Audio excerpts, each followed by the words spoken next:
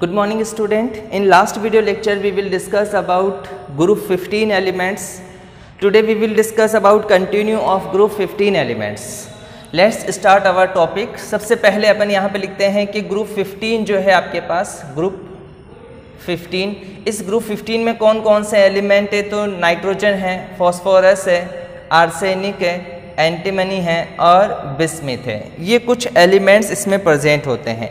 अब यहाँ students last video lecture में मैंने आप लोगों से बात की थी कि जैसे नाइट्रोजन है तो उसका इलेक्ट्रॉनिक कॉन्फ़िगरेशन 2s2 2p3 है।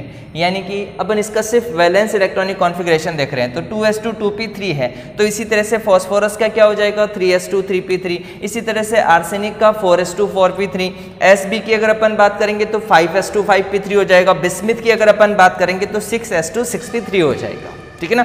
चलिए लास्ट टाइम अपन ने इसके अंदर जो इसकी फ़िज़िकल प्रॉपर्टीज़ थी, इसकी जो रेडियस थी एटॉमिक रेडियस वगैरह, इनके बारे में अपन ने डिस्कस किया था। आज जो स्टूडेंट्स अपन टॉपिक डिस्कस करने वाले हैं, वो एक बहुत ही इंपॉर्टेंट टॉपिक है और वो है आपका oxidation state oxidation state oxidation state के बारे में आप लोगों को सबसे पहले बात इतनी सी बात आपको याद रखनी है कि ये जो ग्रुप 15 है, ये माइनस थ्री से लेकर के प्लस फाइव तक की ऑक्सीडेशन स्टेट को शो कर सकते हैं। Minus three two five plus five तक की ऑक्सीडेशन स्टेट को शो कर सकते हैं। अब यहाँ एक क्वेश्चन ये है कि ये दोनों ही तरह की यहाँ पर माइनस भी शो कर सकते हैं और यहाँ पर ये प्लस वैलेंसी को भी शो कर सकते हैं प्लस ऑक्सीडेशन स्टेट को भी शो कर सकते हैं। पहली बात तो ये हो गई। अब एक बात आपको ये याद रखनी है कि यहाँ पर अगर अपन इस ग्रुप में अप टू डाउन चलते हैं अप टू डाउन चलने पर जो नेगेटिव ऑक्सीडेशन स्टेट है, वो नेगेटिव ऑक्सीडेशन स्टेट की टेंडेंसी जो होती है, वो डिक्रीज होती चली जाती है। टेंडेंसी डिक्रीज हो रही है। किसकी? नेगेटिव वैलेंसी की। तो यहाँ पर अपन ये लिख सकते हैं फ़र्स्ट ऑफ़ ऑल कि यहाँ पर जो माइनस ऑक्सीडेशन या नेगेटिव ऑक्सीडेशन स्टेट है नेगेटिव ऑक्सीडेशन स्टेट डिक्रीज या negative oxidation tendency decrease when we move up to down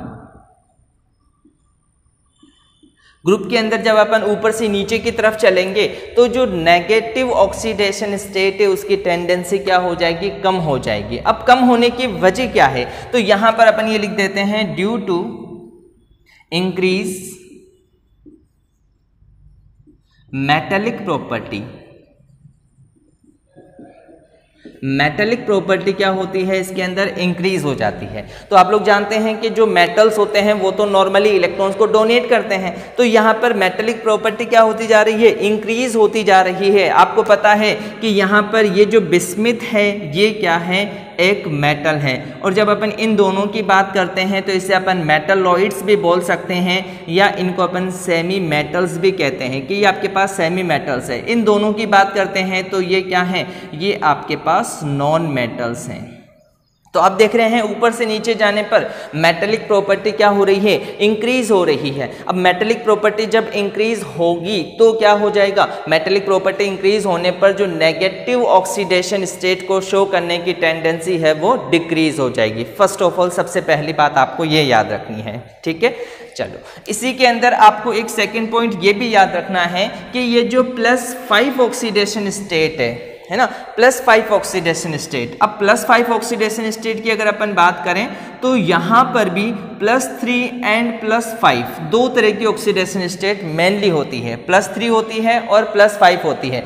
for example जैसे क्या कर दिया गया? ये नाइट्रोजन है आपके पास। इस नाइट्रोजन को आपने फ्लोरीन के तीन एलिमेंट या तीन एटम के साथ ऐड करा दिया। अब आप जानते हो कि यहाँ पर ये जो फ्लोरीन है, ये क्या होता है? हाईली इलेक्ट्रोनेगेटिव होता है। तो ये इलेक्ट्रॉन को अपनी तरफ़ खींचेगा। तो यहाँ पर ये जो नाइट्रोजन होगा, वो कौन सी वैलेंसी या कौन सी ऑक्सीडेशन स्टेट में होगा? प्लस थ्री ऑक्सीडेशन स्टेट में होगा। सबसे पहली बात तो आपको ये याद रखनी है। लेकिन वहीं अगर अपन बात करते हैं, जैसे फॉस्फोरस है या जैसे आपके पास अदर एलिमेंट्स हैं, जैसे आर्सेनिक है एंटीमनी है तो यहाँ पर जैसे अगर फॉस्फोरस की बात करेंगे तो ये पी सी एल फाइव बना लेता है। और यहाँ अगर अपन इसकी ऑक्सीडेशन स्टेट को देखेंगे तो ये प्लस फाइव हो जाती है। ठीक है? अच्छा एक और बात, यहाँ पर एक इम्पोर्टेंट बात ये है स्टूडेंट्स कि, यहाँ पर ये एन एफ़ थ्री बना सकता है, लेकिन एन एफ़ फाइव नहीं बना सकता, एन एफ़ फाइव नहीं बना सकता। क्यों? क्योंकि यहाँ पर क्या होता है? नाइट्रोजन के पास डी ऑर्बिटल्स एबसेंट होते हैं, डी ऑर्बिटल्स नहीं होते हैं। जैसे आप जानते हो कि यहाँ पर इसका जो इलेक्ट्रॉनिक कॉन्फ़िगरेशन फॉर्मूला है, वो 2s2 और 2p3 है। लेकिन क्या कभी आपने 2d ऑर्बिटल सुने हैं? नहीं सुने हैं। तो इसका मतलब ये है कि यहाँ पर s और p दोनों ही ऑर्बिटल्स होते हैं p ऑर्बिटल्स नहीं होते हैं, यहाँ पर एबसेंट होते हैं। तो इसी वजह से वो अपने इलेक्ट्रॉन्स को ज़्यादा एक्सपेंड नहीं कर सकता। वो अपने कॉन्फिग्रेशन को ज़्यादा एक्सपेंड नहीं कर सकता। और इसी वजह से क्या हो जाता है, यहाँ पर यह एन नहीं बना सकता। अब यहाँ पर अपन क्या देखना चाहते हैं? जैसे अपन ये कह रहे हैं स्टूडेंट्स कि जैसे अपने पास क्या हो रहा है कि मैंने ये कहा कि ये जो पॉजिटिव ऑक्सीडेशन स्टेट है, उसमें भी जैसे प्लस थ्री वाली ऑक्सीडेशन स्टेट भी है और प्लस फाइव वाली ऑक्सीडेशन स्टेट भी है। बट होता क्या है? यहाँ पर कि भाई plus three oxidation state plus three oxidation state increase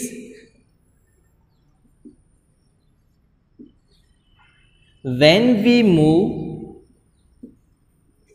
when we move up to down, जब अपन ऊपर से नीचे की तरफ़ चलते हैं ग्रुप के अंदर ग्रुप 15 के अंदर तो जो ग्रुप थ्री जो ग्रुप फिफ्टीन है, उसके अंदर प्लस थ्री ऑक्सीडेशन स्टेट को शो करने की जो टेंडेंसी होती है, वो इंक्रीज हो जाती है, बढ़ जाती है। इसकी क्या वजह होती है कि ऐसा क्यों होता है कि ऊपर से नीचे जाने पर, ऊपर से नीचे जाने पर ये जो एलिमेंट होते हैं, ये एलिमेंट प्लस थ्री नहीं प्लस थ्री शो करते हैं बट प्लस फाइव को शो करना ज़्यादा पसंद नहीं करते हैं प्रिफेर नहीं करते हैं। तो इसकी क्या वजह है? इसकी वजह ये होती है students due to inert pair effect due to inert pair effect ये एक इफ़ेक्ट होता है। इस इफ़ेक्ट की वजह से क्या होता है? ऊपर से नीचे की तरफ़ जाने पर क्या होने लगेगा? प्लस थ्री ऑक्सीडेशन स्टेट को शो करने की जो टेंडेंसी है, वो ज़्यादा हो जाएगी कंपेयर टू प्लस फाइव के। इतनी सी बात। अब ये इनर्ट पेयर इफ़ेक्ट होता क्या है? मैं इसको एक बार आपको समझा देता हूँ। जैसे आप लोग जानते हैं कि लास्ट टाइम जो अपन ने इनके जो इनके इलेक्ट्रॉनिक कॉन्फ़िगरेशन की बात की थी तो अभी अपन ने कहा जैसे ये टू है, ये थ्री है ये थ्री पी है, ये फोर एस हो जाएगा। जैसे ये हो गया आपका फोर एस टू और फोर पी थ्री हो जाएगा। लेकिन मैंने उस टाइम पर स्टूडेंट्स ये कहा था कि यहाँ पर थ्री डी जो होंगे वो कंप्लीट से फिल होंगे। टू हो गया, ये सॉरी थ्री फोर और ये फाइव हो जाएगा सॉरी एक सेकेंड यहाँ पर वापस चेंज कर देता हूँ इसको। ये टू है, ये थ्री हो जाएगा, ये फोर हो जाएगा, देन ये फाइव हो जाएगा। तो ये क्या बन जाएगा? ये फाइव एस टू और ये फाइव पी थ्री हो जाएगा। तो यहाँ पर फोर डी जो इलेक्ट्रॉन्स हैं, वो कम्प्लीटली फिल्ड है, भरे हुए हैं। इसी तरह से यहाँ पर अगर अपन बात करेंगे तो जैसे ये क्या है? ये हो गया आपका सिक्स एस टू और ये क्या हो गया आपका सिक्स पी थ्री हो गया, ठीक है? अब यहाँ पर फोर एफ़ फोर्टीन जो है वो कंप्लीटली फिल्ड है, भरे हुए हैं। तो अब स्टूडेंट्स देखिए, यहाँ पर ये डी ऑर्बिटल्स और यहाँ पर ये एफ़ ऑर्बिटल्स ये कंप्लीटली फिल्ड है। अब ये जब कंप्लीटली फिल्ड है, पहली बात तो आपको ये पता होना चाहिए कि ये जो डी ऑर्बिटल और एफ़ ऑर्बिटल होते हैं, ये साइज़ में थोड़े ज़्यादा होते हैं, बड़े होते हैं, ये फैले हुए होते हैं। जब ये फैले हुए होंगे तो क्या होगा? यहाँ पर अगर अपन बात करें कि इनकी वजह से, अब ये क्या है? पेनल्टीमेट शेल है, अंदर की तरफ़ प्रेजेंट है। फॉर एग्ज़ाम्पल जैसे अगर अपन बात करें, देखिए स्टूडेंट जैसे ये न्यूक्लियस है है ना? ये आपके न्यूक्लियस है, किसी भी एलिमेंट का, और ये इसका अंदर वाला शेल है, और ये इसके बाहर वाले वैलेंस शेल है। अब आप जानते हो, जैसे ये फोर एफ़ फोर्टीन है, जैसे ये फोर एफ़ फोर्टीन है है ना? और यहाँ पर कोई इलेक्ट्रॉन रखे हुए हैं, जैसे अपन बात करते हैं, ये वाले इलेक्ट्रॉन रखे हुए हैं। अब ये वाले जो इलेक्ट्रॉन्स है, वो थोड़े अंदर होंगे, और ये जो होंगे, वो थोड़े बाहर की तरफ़ होंगे, क्योंकि एस ऑर्बिटल जो होता है, वो थोड़ा अंदर की तरफ़ होता है पी ऑर्बिटल जो होता है, वो बाहर की तरफ़ होता है। तो अब यहाँ क्या होगा? देखिए स्टूडेंट्स अपन जानते हैं कि ये जो न्यू न्यूक्लियस है। ये न्यूक्लियस क्या चाहता है कि इन इलेक्ट्रॉन्स को अपनी तरफ़ अट्रैक्ट करे इनको अपनी तरफ़ खींच ले। लेकिन क्या होता है ये जो फोर एफ़ फोर्टीन के इलेक्ट्रॉन्स है वो क्या चाहते हैं इनको बाहर की तरफ़ धकेलना चाहते हैं। बट स्टूडेंट्स यहाँ क्या होता है ये जो आ, आपके ऑर्बिटल्स हैं एफ़ ऑर्बिटल्स और डी ऑर्बिटल्स ये कैसे होते हैं पुअर शील्डिंग वाले इफ़ेक्ट शो करते हैं। मतलब ये पुअर अच्छी तरह से शील्ड नहीं कर पाते हैं और अच्छी तरह से शील्ड नहीं कर पाने की वजह से, यानी कि ये जो न्यूक्लियस है, इस न्यूक्लियस का इफ़ेक्ट यहाँ तक पहुँच जाता है। शील्ड मतलब क्या होता है? बचा लेना। यानी कि ये जो न्यूक्लियस है, ये न्यूक्लियस क्या कर रहा है? यहाँ इफ़ेक्ट पहुँचा रहा है, इसको खींचने की कोशिश कर रहा है। अब पुअर शील्डिंग का मतलब क्या हो गया? कि ये जो है, वो इस इफ़ेक्ट को रोक नहीं रहे हैं। ये इस इफ़ेक्ट को रोक नहीं रहे हैं। तो क्या होगा? यहाँ पर बाहर की तरफ़ जो एस और पी के अंदर ऑर्बिटल्स है, वो क्या हो जाएँगे? पुअर शील्डिंग इफ़ेक्ट की वजह से न्यूक्लियस की तरफ़ खिंचे हुए रहेंगे। जब न्यूक्लियस की तरफ़ खिंचे हुए रहेंगे तो ऐसा होगा कि जो एस ऑर्बिटल हैं, उसमें से इलेक्ट्रॉन निकालना मुश्किल हो जाएगा। लेकिन जो पी ऑर्बिटल है, वो थोड़े बाहर की तरफ़ है तो वहाँ से फिर भी इलेक्ट्रॉन निकाले जा सकते हैं। तो इसीलिए क्या हो जाएगा कि ये सिर्फ़ तीन इलेक्ट्रॉन ही डोनेट कर पाएगा, ये दो इलेक्ट्रॉन डोनेट नहीं हो पाएँगे। तो इसीलिए यहाँ पर क्या हो जाएगा, प्लस थ्री ऑक्सीडेशन स्टेट जो है, वो इंक्रीज हो जाएगी। क्यों हो रही है? Due to inert pair effect. और ये इनर्ट पेयर इफ़ेक्ट क्या होता है? जो इनर शेल्स होते हैं, उसके अंदर जो पेनल्टीमेट एफ़ ऑर्बिटल से डी ऑर्बिटल से जब वो कंप्लीटली फिल्ड होते हैं तो न्यूक्लियस या बाहर वाले इलेक्ट्रॉन्स को पुअर शील्ड करते हैं। बाहर वाले इलेक्ट्रॉन्स को उतना शील्ड नहीं कर पाते हैं न्यूक्लियस के पावर से बचा नहीं पाते हैं। तो वो क्या कहलाता है आपका? वो कहलाता है आपका पुअर शील्डिंग इफ़ेक्ट ठीक है ना स्टूडेंट्स तो यहाँ पर इस तरह से, ये दो क्वेश्चन हैं जो कंप्लीट होते हैं अपने, कि ऊपर से नीचे जाने पर क्या हो रहा है, और यहाँ पर ये कौन कौन सी ऑक्सीडेशन स्टेट को शो कर रहा है, ठीक है? अब एक इसके अंदर बात ये आती है स्टूडेंट्स के ये जो नाइट्रोजन है, वो थोड़ा एक्सेप्शन होता है। नाइट्रोजन जो है वो एक एलिमेंट ऐसा है जो थोड़ा एक्सेप्शनल एलिमेंट है। आप लोगों को शुरू से पढ़ाते आए हैं। आप लोग जानते हैं कि नाइन्थ टेंथ में भी आप लोगों ने सुना है कि नाइट्रोजन एक्सेप्शन है, नाइट्रोजन एक्सेप्शन है। अब ये क्यों एक्सेप्शन है? एक्चुअल में नाइट्रोजन जो है, इसके पास अगर अपन नाइट्रोजन की बात करते हैं तो नाइट्रोजन के अंदर एक्सेप्शन होने की मेन वजह यह है कि इसकी जो इलेक्ट्रोनेगेटिविटी होती है ई e एन का मीन्स है इलेक्ट्रोनेगेटिविटी और ये जो इलेक्ट्रोनेगेटिविटी होती है, वो कैसी होती होती है हाई होती है, ज़्यादा होती है कंपेयर टू अदर एलिमेंट्स के। दूसरी बात, दूसरी अगर अपन इसमें बात करते हैं स्टूडेंट्स तो यहाँ पर इसकी जो साइज़ होती है, जो एटॉमिक साइज़ होती है, वो क्या होती है? बहुत ही कम होती है, छोटी होती है कंपेयर टू अदर एलिमेंट्स के। और तीसरी बात जो होती है इसके अंदर, वो होती है इसके अंदर स्टूडेंट्स कि इसमें D orbitals D orbitals absent होते हैं। इन तीन ही इन तीनों ही वजह से ये क्या कर सकता है? ये आपके डिफरेंट प्रॉपर्टीज़ को शो कर सकता है। इस वजह से यहाँ पर ये नाइट्रोजन एक एक्सेप्शन की तरह बिहेव करता है। ठीक है? चलिए, अब बात करते हैं अपन कि नाइट्रोजन जो है वो कौन कौन सी ऑक्सीडेशन स्टेट को शो कर सकता है? तो अगर अपन यहाँ पर देखते हैं तो नाइट्रोजन माइनस थ्री वैलेंसी को भी, या थ्री ऑक्सीडेशन स्टेट को भी शो कर सकता है माइनस टू को भी शो कर सकता है ज़ीरो को भी शो कर सकता है माइनस वन को भी शो कर सकता है माइनस सॉरी प्लस वन को भी शो कर सकता है प्लस टू को भी शो कर सकता है plus three plus four and plus five अब ये कौन कौन से कंपाउंड है जिनके बारे में अपन बात कर लेते हैं? देखिए, सबसे पहली बात, अगर नाइट्रोजन हाइड्रोजन के साथ जुड़ जाता है, जैसे फॉर एग्ज़ाम्पल इसने क्या बना लिया? NH3 बना लिया, ठीक है? तो ये क्या हो जाएगा? आपका माइनस थ्री वैलेंसी वाला हो जाएगा, क्योंकि आप जानते हो कि हाइड्रोजन वैलेंसी क्या शो करेगा? प्लस वन शो करेगा। तो इस नाइट्रोजन के ऊपर ऑक्सीडेशन स्टेट कौन सी आ जाएगी? बिल्कुल सही माइनस थ्री हो जाएगी। जब अपन बात करेंगे इसके बारे में तो ये होता है N2H4 है ना? अब N2H4 में से जैसे चार हाइड्रोजन है, चारों हाइड्रोजन की कितनी हो जाएगी? प्लस फोर प्लस फोर जब इस पे गिरेगी तो क्या हो जाएगी? माइनस फोर लेकिन क्योंकि दो नाइट्रोजन है तो minus four divided by two करेंगे तो कितना आ जाएगा? माइनस का टू अब देखो ज़ीरो ज़ीरो की अगर अपन बात करते हैं तो जैसे अगर N2 हो गया तो मैंने आप लोगों को बताया है कि अगर N2 या कि दो एलिमेंट अगर एक साथ होते हैं, एक जैसे होते हैं तो उसकी ऑक्सीडेशन स्टेट कितनी हो जाती है? ज़ीरो हो जाती है. वहीं अगर अपन बात करें जैसे एक आपके पास से यहाँ पर N2O ठीक है ना? N2O अब जैसे एक ऑक्सीजन की कितनी होती है? ऑक्सीजन की ऑक्सीडेशन स्टेट होती है माइनस टू माइनस टू जब इस पे गिरेगी तो कितनी हो जाएगी? प्लस का टू लेकिन क्योंकि दो नाइट्रोजन है तो plus two divided by two हो जाएगा तो कितना आ जाएगा? वन आ जाएगा. अब जैसे इसी तरह से प्लस तो यहाँ पर ये क्या हो जाएगा? एनओ तो यहाँ पर क्या हो जाएगा? ये ऑक्सीडेशन स्टेट हो जाएगी इसकी प्लस का टू ठीक है ना? फिर उसके बाद अगर अपन बात करें, जैसे ये है आपका N2O3 कर दें. N2O3 कर दें, है ना? तो यहाँ पर कितना हो जाएगा? थ्री इंटू टू यानी कितना हो गया? Six. Six divided by two कितना हो जाएगा? थ्री। ठीक है? फिर इसी तरह से अगर अपन बात करें, जैसे ये नाइट्रोजन है, इसको कितना बनाना है? अपन को फोर बनाना है। तो यहाँ पर यह काम करो, ऐसा कर दो। एन टू फोर कर दो। ठीक है? यहाँ पर अगर अपन बात करें तो यहाँ पर क्या करो? यहाँ पर एन टू फाइव कर दो। इस तरह से क्या हो जाएगा? ये अगर अपन नाइट्रोजन पर देखते हैं तो नाइट्रोजन जो है अलग अलग वैलेंसीज को शो करता है। स्टूडेंट्स आप लोगों को ये टॉपिक अच्छे से समझ में आया होगा। इंपॉर्टेंट टॉपिक है। क्या क्या सीखना है आपको इसके अंदर? कि ऑक्सीडेशन स्टेट कौन कौन सी शो की जाती है? टेंडेंसी क्या होती है? ऑक्सीडेशन स्टेट में ये टेंडेंसी है कि नेगेटिव जो टेंडेंसी है ऑक्सीडेशन स्टेट की, वो अप टू डाउन चलने पर डिक्रीज हो रही है। क्यों हो रही है? क्योंकि मेटेलिक प्रॉपर्टी बढ़ रही है। देन उसके बाद प्लस थ्री ऑक्सीडेशन स्टेट जो है, वो क्या हो रही है? इंक्रीज हो रही है। कंपेयर टू प्लस फाइव के। क्यों हो रहा है? तो इनर्ट पेयर इफ़ेक्ट की वजह से हो रहा है। बस आपको आंसर में सिर्फ़ इतना ही लिखना है इनर्ट पेयर इफ़ेक्ट की वजह से।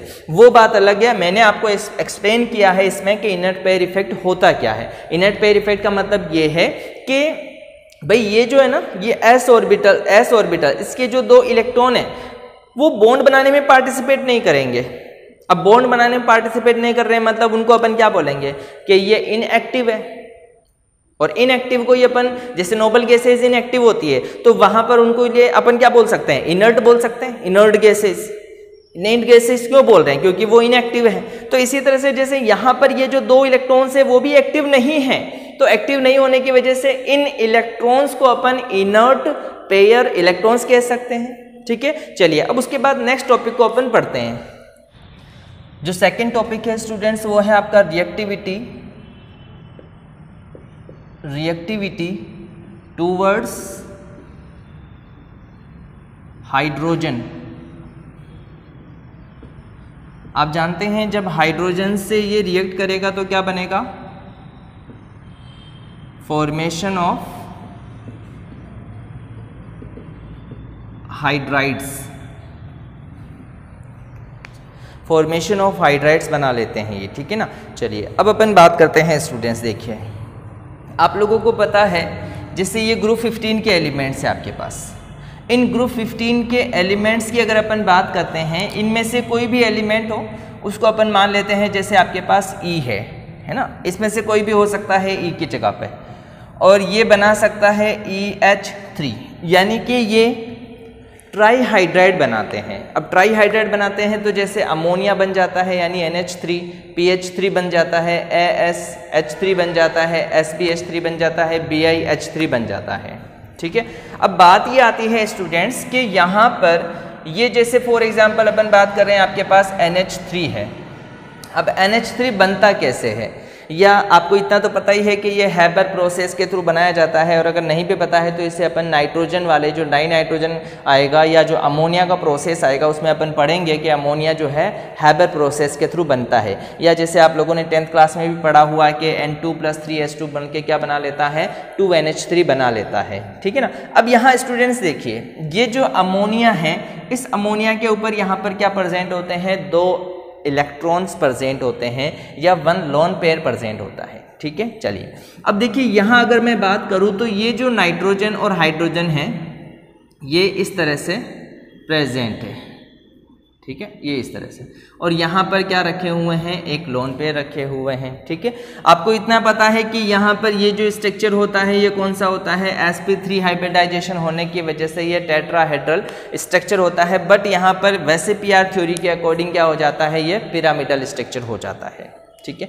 चलिए, अब देखिए स्टूडेंट्स यहाँ पर अगर मैं बात करता हूँ, ये जो आपके पास NH3 है हाइड्राइड बना रहा है, उसी तरह के हाइड्राइड ये अदर भी बनाएँगे बनाएँगे। यानी अदर जितने भी एलिमेंट्स है ग्रुप 15 के, वो भी क्या कराएँगे? इसी टाइप के हाइड्राइड बनाएँगे। अब यहाँ पर दो तीन बातें जो आपसे क्वेश्चन से पूछी जाती है, उनसे अपन डिस्कस कर लेते हैं। तो ये इस तरह से इसका स्ट्रक्चर होता है। अब इसमें पूछा क्या जाता है स्टूडेंट्स पूछा ये जाता है कि जैसे सबसे पहला क्वेश्चन जैसे ये पूछा जाता है आप लोगों से बेसिक स्ट्रेंथ बेसिक स्ट्रेंथ है ना? अब बेसिक स्ट्रेंथ जैसे अगर मैं कहूँ कि जैसे आपके पास एन एच थ्री भी है, आपके पास पी एच थ्री भी है, इसी तरह से ए एस एच थ्री भी आपके पास प्रजेंट है। एस बी एच थ्री भी प्रजेंट है और बी आई एच थ्री भी प्रजेंट है। ये सारे हाइड्राइड मान लीजिए आपके पास प्रजेंट है। अब क्योंकि आपको पता है कि सभी के पास क्या होता है एक एक लोन पेयर प्रजेंट होता है जो इनके पास ग्रुप 15 का एलिमेंट्स है, उन सभी के पास एक एक लोन पेयर होता है। ठीक है ना? अब ये जो लोन पेयर होता है तो अगर किसी के पास लोन पेयर है तो वो क्या कर सकता है, अपने लोन पेयर को डोनेट कर सकता है। और जब ये अपने लोन पेयर को डोनेट करेंगे तो ये क्या कहलाएँगे? ये कहलाएँगे लुइस बेस। लुइस बेस कहलाएँगे, ठीक है ना? अब यहाँ क्या होता है, स्टूडेंट्स, देखिए, सबसे पहली बात अब ये लुइस बेस किसको इलेक्ट्रॉन डोनेट करेंगे? तो जो इलेक्ट्रॉन डेफिशिएंट होते हैं, जिनके पास इलेक्ट्रॉन की कमी होती है, यानी फॉर एग्जांपल जैसे लुइस एसिड हो गए तो ये लुइस एसिड को क्या करेंगे? इलेक्ट्रॉन पेयर को डोनेट करेंगे। अब बात ये आती है कि इनमें से आसानी से इलेक्ट्रॉन पेयर डोनेट कौन कर सकता है? तो अपन यहाँ पे ये देखते हैं कि नाइट्रोजन जो है, इसकी साइज़ क्या होती है? थोड़ी सी छोटी होती है। नाइट्रोजन की साइज़ छोटी होने की वजह से ये आसानी से क्या कर सकता है? इलेक्ट्रॉन पेयर डोनेट कर सकता है। तो इसकी जो बेसिक स्ट्रेंथ होगी, वो क्या हो जाएगी? ज़्यादा हो जाएगी। अब जैसे ही इससे थोड़ा नीचे जाते हैं तो फिर उसके बाद यह आ जाएगा। देन उसके बाद यह आ जाएगा। देन उसके बाद यह आ जाएगा। तो इस तरह से इसके अंदर एक ट्रेंड चल जाएगा कि जो बेसिक स्ट्रेंथ है, वो क्या होगा कि अगर ग्रुप के अंदर आप अप टू डाउन चल रहे रहे हैं। अगर ग्रुप के अंदर आप अप टू डाउन चल रहे हैं तो जो बेसिक स्ट्रेंथ है, जो बेसिक स्ट्रेंथ है बेसिक स्ट्रेंथ वो क्या हो रही है? डिक्रीज हो रही है। डिक्रीज हो रही है। ठीक है? यहाँ पर ये जो बेसिक स्ट्रेंथ है, वो क्या हो रही है? डिक्रीज हो रही है। तो सबसे पहला क्वेश्चन जैसे आपसे ये पूछ लिया गया कि ये सारे एलिमेंट्स आपको दे रखे हैं, सारे कंपाउंड्स आपको दिए हुए हैं हाइड्राइड आपको बताया हुआ है, और आपसे पूछ लिया गया कि इनके अंदर इसकी बेसिक स्ट्रेंथ क्या होगी? एक बात तो ये। दूसरी बात ये पूछ लिया जाता है कि इसमें मान लीजिए बेसिक स्ट्रेंथ कम क्यों हो रही है तो आपको याद रखना है कि यहाँ पर नाइट्रोजन की साइज़ छोटी है और यहाँ पर ये जो है विस्मित जो है, उसकी साइज़ बड़ी हो जाती है। तो जैसे जैसे साइज़ इंक्रीज होगी, वैसे वैसे क्या होगा, यहाँ पर ये जो इलेक्ट्रॉन्स डोनेट करने की कैपेसिटी है, वो क्या हो जाएगी, कम हो जाएगी। ठीक है? चलिए, अब ये कम क्यों हो जाती है? उनको भी अपन समझ सकते हैं। जैसे फॉर एग्जांपल अगर अपन बात करें, यहाँ पर आपके पास क्या है? नाइट्रोजन है। अब नाइट्रोजन में आप जानते हो, सबसे पहली बात तो ये क्या है? बहुत ही हाईली इलेक्ट्रोनेगेटिव होता है अदर एलिमेंट के कंपेयर में, ठीक है ना? और साइज़ इसकी छोटी है। तो साइज़ छोटी है तो क्या होगा? जैसे ये हाइड्रोजन ये हाइड्रोजन तीन हाइड्रोजन रखे हुए हैं। अब यहाँ पर इलेक्ट्रोनेगेटिविटी ज़्यादा है तो ये क्या करेगा? बॉन्ड के इलेक्ट्रॉन को अपनी तरफ़ ज़्यादा खींच लेगा। और यहाँ से भी इलेक्ट्रॉन को ज़्यादा खींच लेगा, यहाँ से भी इलेक्ट्रॉन को ज़्यादा खींच लेगा। अब इसके पास इलेक्ट्रॉन यहाँ से क्या हो रहे हैं? आ रहे हैं इसकी इलेक्ट्रॉन की जो आ, जो आपकी नीड है इलेक्ट्रॉन की वो क्या हो रही है? कंप्लीट हो रही है। अब यहाँ क्या होता है क्योंकि साइज़ छोटी है तो ये जो इलेक्ट्रॉन है ये जो क्लाउड्स में है ये जो लॉन पेयर है वो क्या है? वो भी थोड़े पास में ही है ज़्यादा दूर नहीं है। तो क्या होगा ये आसानी से यहाँ से इलेक्ट्रॉन को डोनेट कर सकता है क्योंकि इसकी नीड यहाँ से पूरी हो रही है। लेकिन अब क्या होता है जैसे जैसे साइज़ इंक्रीज हो जाती है और इलेक्ट्रोनेगेटिविटी डिक्रीज हो जाती है तो क्या होता है ये जस्ट इसका अपोजिट हो जाएगा। तो फिर वहाँ से इलेक्ट्रॉन निकालना या लोन पे डोनेट करना क्या हो जाएगा? मुश्किल हो जाएगा। जब लोन पे डोनेट करना मुश्किल हो जाएगा तो इसका मतलब यह है कि उसकी बेसिक स्ट्रेंथ क्या हो जाएगी? डिक्रीज हो जाएगी, कम हो जाएगी। चलिए तो ये है फ़र्स्ट ट्रेंड जो कि आपको याद रखना है। देन उसके बाद अगर अपन बात करते हैं सेकंड जो अपने पास ट्रेंड आता है, वो है आपका थर्मल स्टेबिलिटी है ना? थर्मल स्टेबिलिटी हाइड्राइड के बारे में ये तीन क्वेश्चंस ज़रूर पूछे जाते हैं आप लोगों से तो आप लोग इनको बहुत अच्छे से समझने की कोशिश करें। थर्मल स्टेबिलिटी ट्रेंड पूछे जाते हैं, थर्मल स्टेबिलिटी। तो आप लोगों को ये याद रखना है कि जो इसकी बेसिक स्ट्रेंथ का ट्रेंड है, वही क्या हो जाएगी? इसकी थर्मल स्टेबिलिटी का ट्रेंड हो जाएगा। कि ये जो एन एच थ्री है, वो क्या है? हाईली स्टेबल है। देन उसके बाद पी एच थ्री स्टेबल है। देन उसके बाद A S H three stable है। देन उसके बाद S B H three stable है। देन उसके बाद यहाँ पर B I H three stable है। यानी कि सबसे ज़्यादा स्टेबल कौन सा है? एन एच थ्री है। सबसे लेस स्टेबल कौन सा है? बी आई एस थ्री है, ठीक है ना? थर्मल स्टेबिलिटी का मतलब ये होता है कि यहाँ पर क्योंकि अपन जानते हैं कि इसकी इलेक्ट्रोनेगेटिविटी कम है नाइट्रोजन जो है हमेशा बातें इसकी यही चलेगी इलेक्ट्रोनेगेटिविटी कम है साइज़ छोटी है, इस वजह से क्या होता है, यहाँ पर जो कोवेलेंट बॉन्ड बनता है वो ज़्यादा स्ट्रॉन्ग होते हैं, ठीक है ना? तो यहाँ पर क्या हो जाता है धीरे धीरे इनके जो बॉन्ड होते हैं वो क्या हो जाते हैं लेस स्ट्रॉन्ग हो जाते हैं, इस वजह से इनकी थर्मल स्टेबिलिटी के अंदर ये चेंज आता है। देन इसके बाद अगर अपन बात करें जो लास्ट जो आपके पास जो इसका कैरेक्टर है वो है रिड्यूसिंग कैरेक्टर रिड्यूसिंग कैरेक्टर अब ये जो रिड्यूसिंग कैरेक्टर है, जब अपन बात करते हैं रिड्यूसिंग कैरेक्टर की तो याद रखें, ये जस्ट रिवर्स हो जाएगा। अब यहाँ पर अगर अपन ये कहें कि जैसे ये NH3 है, ये PH3 है, ये ASH3 है, ये SBH3 है, ये BiH3 है तो सबसे ज़्यादा रिड्यूसिंग कैरेक्टर कौन शो करेगा? बिस्मिथ हाइड्राइड शो करेंगे। देन उसके बाद ये देन उसके बाद ये देन उसके बाद ये। ठीक है ना? रिड्यूसिंग करेक्टर ये शो करेंगे। भाई सीधी सी बात है, यहाँ से H प्लस आसानी से कौन निकाल सकता है? तो जो H प्लस आसानी से निकाल पाएगा, वो क्या करेगा? ज़्यादा अच्छा रिड्यूसिंग करेक्टर शो करेगा। लेकिन आप लोगों को पता है कि भाई ये जो NH3 है, ये NH3 तो अगर मैं ये कहूँ कि भाई इसके पास एक लोन पेयर रखा हुआ है और इसके पास अगर प्लस आता है तो आसानी से ये H प्लस दे H प्लस को इलेक्ट्रॉन दे देता है और क्या बना लेता है? NH4 प्लस बना लेता है। अब ये तो NH4 प्लस बना रहा है, आसानी से इलेक्ट्रॉन देगा नहीं सॉरी हाइड्रोजन देगा नहीं तो इसका मतलब इसका रिड्यूसिंग करेक्टर क्या हो गया? लेस हो गया, कम हो गया। यहाँ पर क्या होता है? ये आसानी से इलेक्ट्रॉन या हाइड्रोजन जो है वो डोनेट कर सकता है। और जैसे ही हाइड्रोजन डोनेट करेगा तो किसी ना किसी को वो हाइड्रोजन मिल जाएगा तो उसका क्या हो जाएगा? रिडक्शन हो जाएगा। तो ये जो रिड्यूसिंग करेक्टर है, किसकी वजह से हुआ? इसकी वजह से हुआ तो यहाँ पर इंक्रीज हो जाता है। तो अप टू डाउन चलने पर जो रिड्यूसिंग करेक्टर है, वो क्या हो रहा है? इंक्रीज हो रहा है। बाकी ये जो दोनों है थर्मल स्टेबिलिटी फ्लेक्सिबिलिटी और बेसिक स्ट्रेंथ वो दोनों ही क्या हैं? डिक्रीज हो रही है। समझ में आया टॉपिक देन उसके बाद आगे वाला टॉपिक अपन स्टार्ट करते हैं। यस स्टूडेंट्स अब देखिए, इसके बाद जो अपना टॉपिक आता है वो है रिएक्टिविटी टूवर्ड्स ऑक्सीजन यानी कि फॉर्मेशन ऑफ़ ऑक्साइड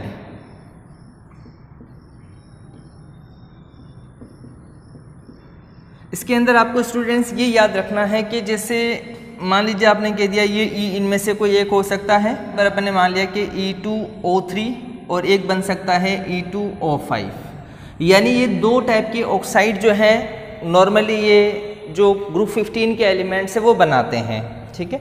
इससे पहले अभी अपने नाइट्रोजन के ऑक्साइड देखे थे स्टूडेंट्स अगर अपन नाइट्रोजन के ऑक्साइड्स के बारे में अपन बात करते हैं तो जैसे नाइट्रोजन जो है वो प्लस वन से लेकर के प्लस फाइव तक की ऑक्सीडेशन स्टेट को शो करता है और सारे ऑक्साइड भी बनाता है, ठीक है ना? अब उसी तरह से क्या होता है? अदर जो एलिमेंट्स हैं, वो भी इसी टाइप के ऑक्साइड बनाते हैं। अब जैसे फॉर एग्जांपल अगर अपन बात करते हैं यहाँ पर तो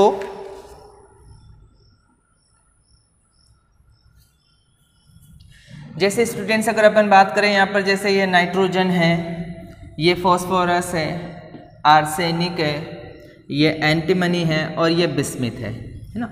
अब यहाँ क्या होता है? जैसे नाइट्रोजन की अगर अपन बात करें तो अपन ने नाइट्रोजन के बारे में अपन ने कहा था कि ये प्लस वन वैलेंसी को शो करने वाले बना सकते हैं प्लस टू वैलेंसी को शो करने वाले प्लस थ्री वाले प्लस फोर वाले और प्लस फाइव वाले।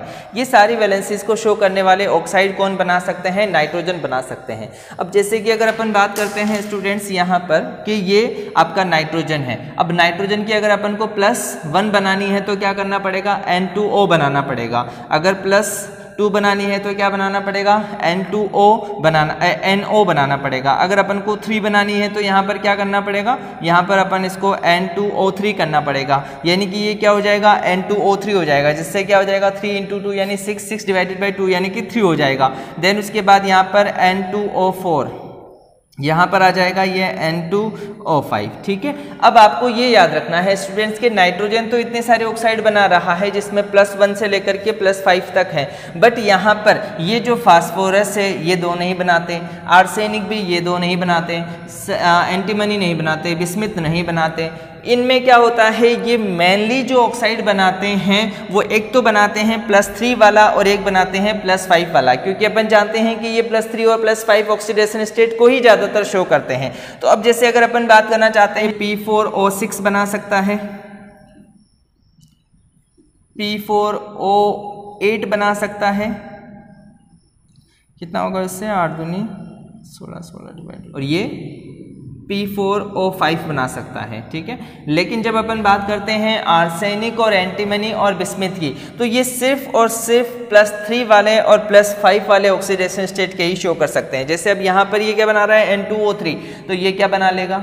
ये बना लेगा आपका A S two O three बना लेगा। जैसे यहाँ क्या बना रहा है? एन टू ओ फाइव तो यहाँ पर ये क्या बना लेगा? ये बना लेगा आपका A S two O five इसी तरह से सेम जो एस बी है, वो भी क्या बनाएगा? इसी टाइप का. ये क्या बना लेगा? S B two O three और ये क्या बना लेगा? S B two O five इसी तरह से यहाँ पर ये B I two O three बना रहा है. ये B I two O five बना लेगा. ठीक है ना स्टूडेंट्स तो ये इस तरह से क्या होता है? इनके अंदर ऑक्साइड बनते हैं. मेनली आपको क्या याद रखना है? ये टेबल आपको याद रखने की ज़रूरत नहीं है. इस टेबल को आपको याद रखने की ज़रूरत नहीं है। आपको ये जो टॉपिक है, इस टॉपिक में से बस ये याद रखना है कि एक तो ये E2O3 टाइप का और एक ये E2O5 टाइप के ऑक्साइड बनाते हैं। फ़र्स्ट ऑफ़ ऑल तो आपको ये याद रखना है। दूसरी बात आपको ये याद रखना है कि जितनी ज़्यादा ऑक्सीडेशन स्टेट होगी किसी एलिमेंट या किसी कंपाउंड की, किसी ऑक्साइड की, वो उतना ही ज़्यादा क्या हो जाएगा? एसिडिक नेचर का हो जाएगा। एक बात तो ये याद रखनी है है ना? तो आपको ये याद रखना है कि more acidic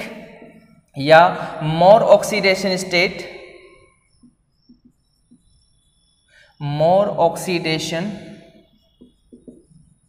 state, more acidic. पहली बात। दूसरी बात इसके अंदर ये याद रखनी है कि एसिडिक स्ट्रेंथ या acidic character decrease when we move up to down. ऊपर से नीचे जाने पर एसिडिक कैरेक्टर क्या हो रहा है? कम हो रहा है। यानी कि अपन जब यहाँ से यहाँ चलेंगे तो एसिडिक कैरेक्टर क्या हो जाएगा? कम हो जाएगा। और आपको ये पता होना चाहिए, जैसे आपके पास प्लस थ्री और प्लस फाइव मोस्टली तो ये दोनों ही हैं तो अब आपसे पूछ लिया गया जैसे ये और ये। इन दोनों में से कौन सा ज़्यादा एसिडिक होगा? तो आपको ये वाला राइट करना है। क्यों? क्योंकि आप जानते हो कि जितनी ज़्यादा ऑक्सीडेशन स्टेट होगी, उतना ही ज़्यादा एसिडिक करेक्टर होगा। तो इस वजह से क्या होगा कि जितनी ज़्यादा एसिडिक करेक्टर यानी कि उतनी ही ज़्यादा ऑक्सीडेशन स्टेट अब देन इसके बाद अपना जो नेक्स्ट टॉपिक आता है, वो है students reactivity towards halogen reactivity towards halogen यानी कि फॉर्मेशन ऑफ़ हेलाइड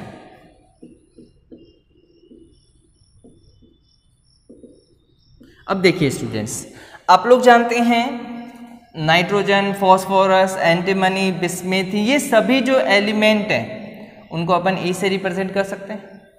ये E X three and E X five इन दो टाइप के हेलाइड ये मेनली बनाते हैं, ठीक है ना? एक बात आपको ये याद रखनी है कि NF3 are formed but NF5 are not formed due to absent of d orbitals D orbitals absent होते हैं। ये बात अपने कुछ टाइम पहले भी अपने डिस्कस की थी कि NF3 बन सकता है, लेकिन NF5 नहीं बन सकता। क्यों? क्योंकि नाइट्रोजन के पास डी ऑर्बिटल प्रजेंट नहीं है। ठीक है? मेनली आपको ये बात याद रखनी है। अब अपन बात करते हैं जैसे इनके स्ट्रक्चर के बारे में, कि इनका स्ट्रक्चर कैसा होता है। फॉर एग्ज़ाम्पल जैसे आपके पास एक तो है पी थ्री और एक है आपके पास पी दोनों चीज़ें। अब आपको पता होना चाहिए, जैसे ये PCl3 है तो इस PCl3 के अंदर इसका जो हाइब्रिडाइजेशन होता है, वो कौन सा होता है? Sp3 हाइब्रिडाइजेशन होता है। सॉरी sp2 हाइब्रिडाइजेशन होता है।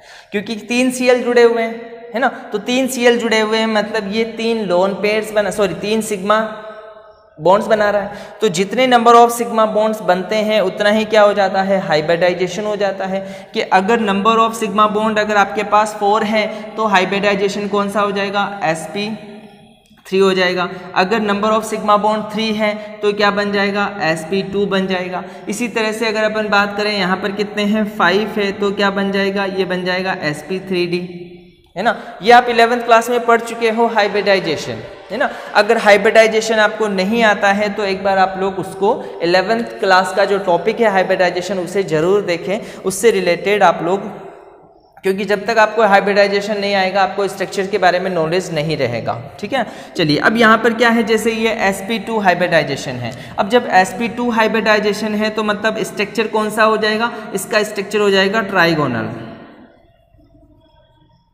ट्राइगोनल स्ट्रक्चर हो जाएगा। अब जब ट्राइगोनल स्ट्रक्चर हो जाता है तो ये रहता कैसे है? जैसे ये पी है, यहाँ पर ये सी है यहाँ ये Cl है और यहाँ पर ये Cl है। ठीक है ना? तो ये क्या है? ये इस तरह का एक ट्राइगोनल स्ट्रक्चर बन जाता है। जिनके अंदर तीनों बॉन्ड्स जो होते हैं, वो इक्वल लेंथ के होते हैं। एक बात तो ये याद रखनी है। जब अपन बात करते हैं पी सी एल फाइव में तो ये जो P है, इस पर हाइब्रिडाइजेशन चेक किया जाता है। तो यहाँ पर हाइब्रिडाइजेशन आता है एस पी थ्री डी अब S P three hybridize sp3d hybridization है तो इसका मीन्स ये है कि यहाँ पर जो स्ट्रक्चर बनेगा, वो क्या हो जाएगा? Trigonal bipyramidal.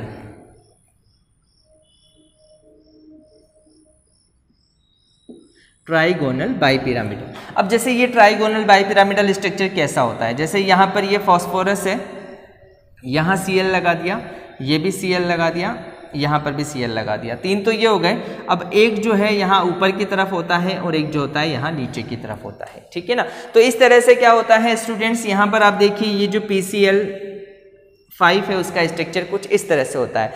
ये जो स्ट्रक्चर होता है, इसको अपन कहते हैं ट्राइगोनल बाई पिरामिड यानी कि ट्राइगोनल है, लेकिन दो पिरामिडल स्ट्रक्चर भी है, जैसे ये यहाँ पर यहाँ पर यहाँ पर जुड़ेगा, इसी तरह से ये भी यहाँ पर अटैच हो जाएगा। यानी कि क्या होगा बाई पिरामिडल स्ट्रक्चर बन जाएगा। और यहाँ अगर अपन बात करते हैं तो ट्राइगोनल स्ट्रक्चर होता है। अब स्टूडेंट, एक बात ये आती है कि क्या इसके अंदर ये पाँचों जो बॉन्ड्स हैं क्या वो इक्वल लेंथ के हैं? तो नहीं। यहाँ पर पाँचों जो बॉन्ड्स हैं वो इक्वल लेंथ के नहीं हैं। इनकी जो लेंथ होती है वो डिफरेंट होती है कंपेयर टू इसके। क्यों? क्योंकि अपन जानते हैं देखिए यहाँ पर क्या होगा?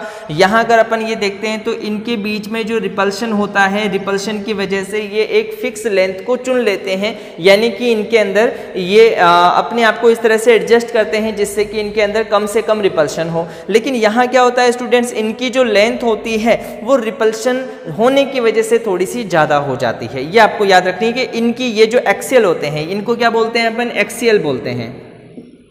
ये एक्सियल होते हैं। जो एक्सियल बॉन्ड है, इनकी लेंथ जो होती है, वो थोड़ी सी ज़्यादा होती है। पहली बात तो ये। अब एक क्वेश्चन इसमें स्टूडेंट्स ये भी पूछा जाता है कि ये जो आपके पास पी सी एल थ्री है और एक आपके पास पी सी एल फाइव है।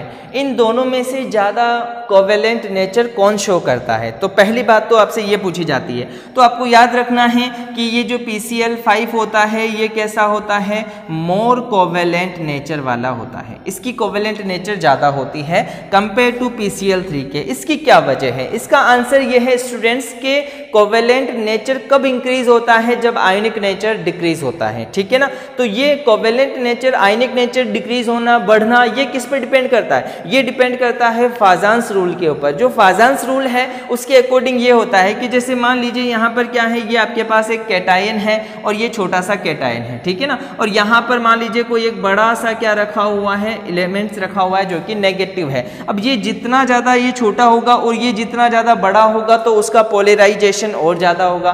तो जब पोलराइजेशन ज़्यादा होगा तो उसका मीन्स ये है कि वहाँ पर कोवेलेंट नेचर क्या हो जाएगा? इंक्रीज हो जाएगा। अब यानी कि अब आपको इस पॉजिटिव वाले कैरेक्टर को इंक्रीज करना है। तो पॉजिटिव कैरेक्टर को इंक्रीज करना है। तो यहाँ पर अगर मैं बात करूँ तो ये जो पी है, इसके अंदर फॉस्फोरस की ऑक्सीडेशन स्टेट कितनी है? प्लस फाइव है। और यहाँ अगर मैं बात करूँ तो ये कितनी है? प्लस थ्री है। तो अब देखिए स्टूडेंट्स यहाँ प्लस थ्री है, यहाँ प्लस फाइव है। तो ज़्यादा पॉजिटिव चार्ज किसके पास है? इसके पास है तो यहाँ से ये ज़्यादा पोलराइजिंग पावर शो करेगा। जब ज़्यादा पोलराइजिंग पावर होगी पोलराइजेशन ज़्यादा होगा तो कोवेलेंट नेचर भी क्या हो जाएगा? ज़्यादा हो जाएगा। तो इस तरह से स्टूडेंट्स क्वेश्चन आपसे पूछे जाते हैं मैंने आपको नोट्स प्रोवाइड करवाए हैं। इन नोट्स के अंदर भी मैंने आ, आप लोगों को कुछ कुछ जो है क्वेश्चंस भी आप लोगों को कुछ कुछ क्वेश्चंस भी बीच में दे रखे हैं। आप लोग उनको भी अच्छे से देखने की कोशिश करें उनको अच्छे से पढ़ें और इन वीडियो से भी आप लोग इसमें हेल्प लें ठीक है? तो इसके बाद जो अपना टॉपिक आता है स्टूडेंट्स वो है आपका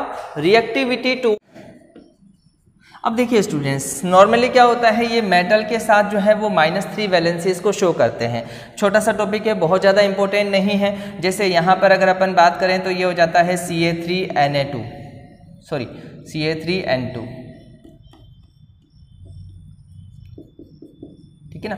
तो यहाँ पर ये माइनस जो है थ्री वैलेंसीज को शो करेगा। क्योंकि आपको पता है सी ए की कितनी होती है प्लस टू होती है प्लस टू होने की वजह से प्लस टू इंटू थ्री यानी कि प्लस सिक्स प्लस सिक्स जब इस पर गिरेंगे तो क्या हो जाएँगे? माइनस के सिक्स माइनस के सिक्स डिवाइडेड बाई टू होगा तो कितना हो जाएगा? माइनस का थ्री हो जाएगा। इसी तरह से जैसे अगर अपन बात करें तो ये जैसे M G three P two बना सकता है। इसी तरह से जैसे N A two N A two A S बना सकता है। तो ये इस टाइप के जो हैं इनके आ, जो है मेटल के साथ रिएक्ट करके भी कंपाउंड बनाए जा सकते हैं। ठीक है स्टूडेंट्स तो ये है आपके ग्रुप 15 एलिमेंट्स के कुछ प्रॉपर्टीज़ या फ़िज़िकल और केमिकल प्रॉपर्टीज़